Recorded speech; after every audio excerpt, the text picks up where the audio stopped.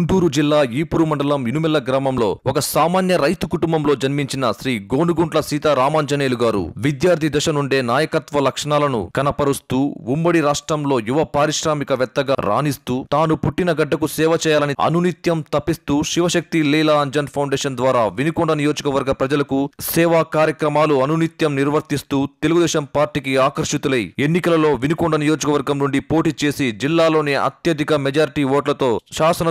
రెండు రెండుసార్లు విజయ భావట ఎగరవేసి రాష్ట్ర ముఖ్యమంత్రి వర్యులు శ్రీ నారా చంద్రబాబు నాయుడు గారి వద్ద బలమైన నాయకుడిగా గుర్తింపు పొంది రెండు పర్యాయాలు గుంటూరు జిల్లా తెలుగుదేశం పార్టీ అధ్యక్షులుగా ఎన్నికై జిల్లా వ్యాప్తంగా పార్టీని బలపరుస్తూ నియోజకవర్గాన్ని అభివృద్ధి పదంలో నడిపిస్తున్న మన ప్రియతమ నాయకులు ప్రజా బాంధవుడు రైతు బిడ్డ గుంటూరు జిల్లా తెలుగుదేశం పార్టీ అధ్యక్షులు వినుకొండ నియోజకవర్గ శాసనసభ్యులు శ్రీ జీవి ఆంజనేయులు గారు తాము చేయబోయే అభివృద్ధి పనుల గురించి పలు సేవా కార్యక్రమాల గురించి తమపై వచ్చిన ఆరోపణల గురించి కులంకుశంగా అడిగి తెలుసుకుందాం. Watch on city focus